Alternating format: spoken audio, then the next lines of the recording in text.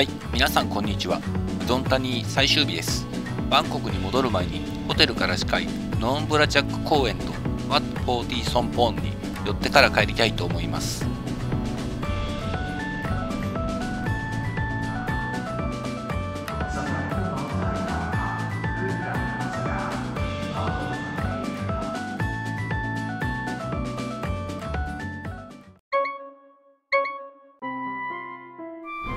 うどん谷中心部から車で5分くらいのところにノーンブラジャック公園があります。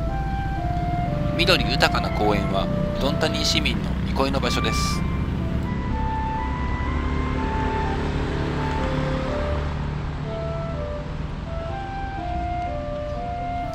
外側のロードはランニング用。内側の青いロードは自転車用に分かれています。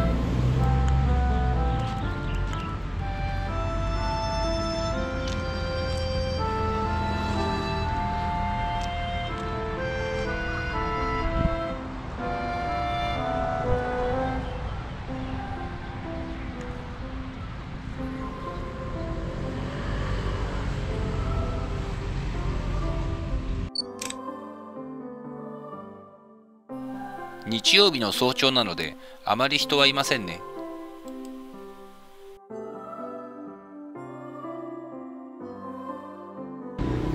公園の反対側には食堂が並んでいて朝から食事もできます。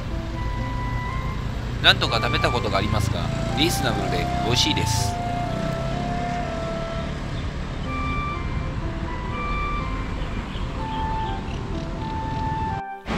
親子が池の魚に餌をあげています。のどかな光景ですね。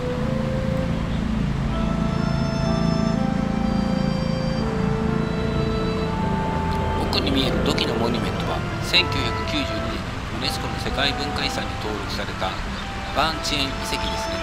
市街から1時間ぐらいですが休みだったので次回行ってみたいと思います。対岸にはうどん谷博物館があります。入場料は無料です。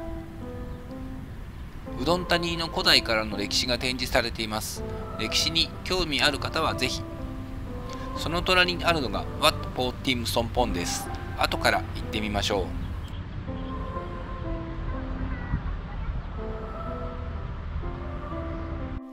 う。うどん谷のシンボルといえば池に浮かぶ3匹の巨大なアヒルなのですがいない。以前来た時は黄色いダックがいたんですけどね。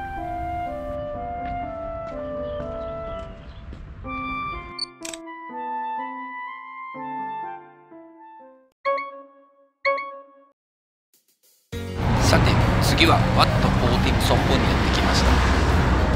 この寺院は1964年5月7日に生急戦により第3級サーマンの自覚が与えられた格式の高い王室寺院です。境内には王室にゆかりのある写真が展示されています。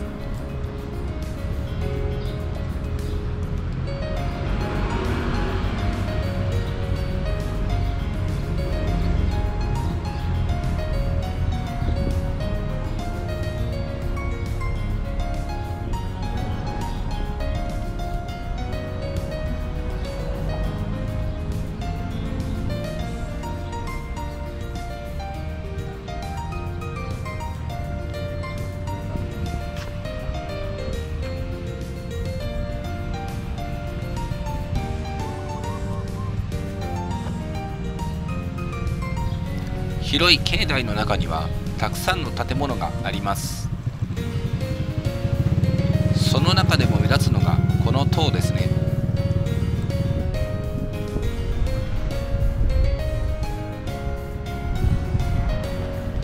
そしてその奥には本堂がありますがこの日は改修工事中でした。時間が早かったせいかまだ開いていません。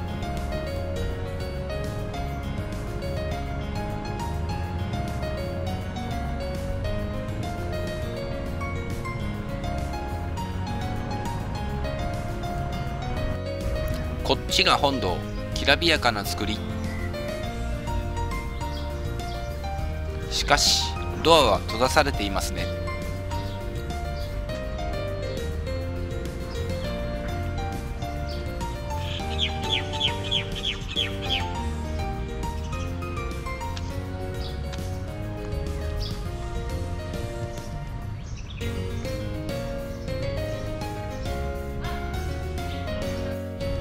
とりあえず敷地の中をいろいろ回ってみましょう。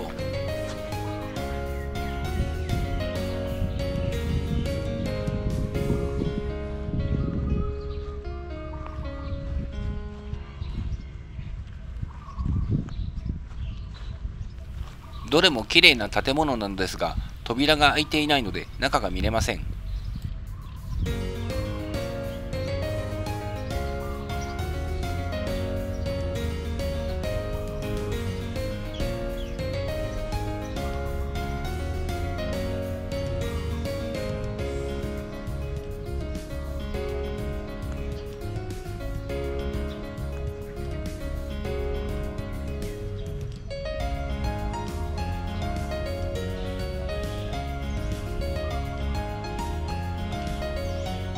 こっちは大写真パヤナーですね。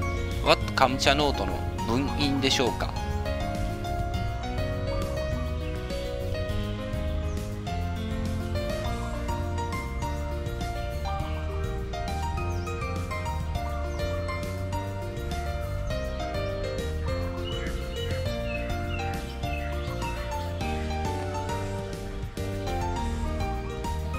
周りの建物とは違う感じですが装飾が細かく綺麗です。説明が書かれているのですが残念ながら読めませんでした。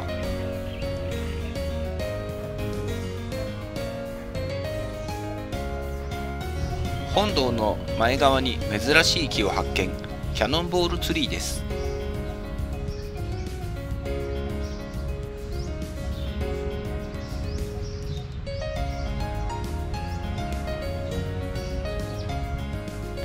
花は直接幹から生えてくる完成花という種類です。規制されているような不思議な感じがします。花も奇妙な形をしていて実は15センチくらいになり方眼に似ていることからこの名前がついたそうです。身近な植物だとドリアンとかカカオも同じですね。ちなみに実は食べられなくて匂いもすごいのだとか。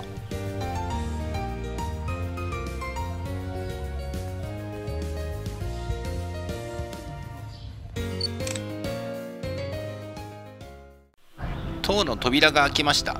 早速中に入ってみましょう。階段を守る黄金の邪神ナーガはかっこいい。古くからある寺院だけどこの塔は最近できたものなのか近代的です。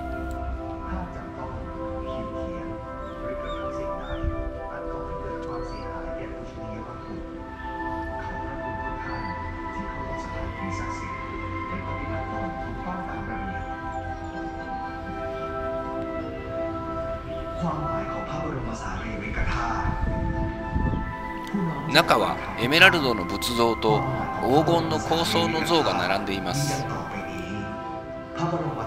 お寺というより博物館みたいな感じです。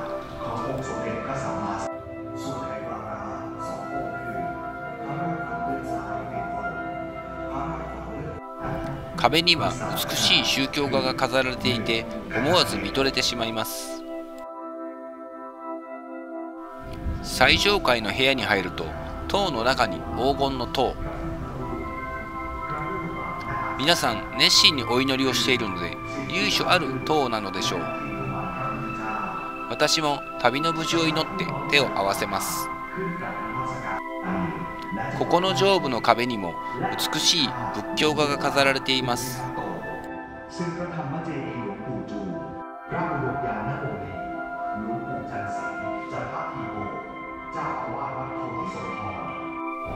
塔の上からの景色。高くないのでお寺の敷地しか見えませんね。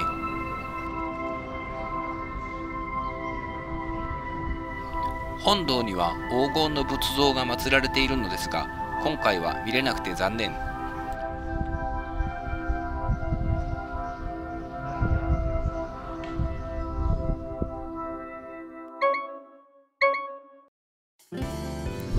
うどん谷の旅はいかがだったでしょうか？印象的なのは何といっても赤いハスの海ですよね。他にも見どころはたくさんありますが距離があるので2日で回るのは無理でした。また機会があったらうどん谷に行きたいと思います。それではまた次の動画でお会いしましょう。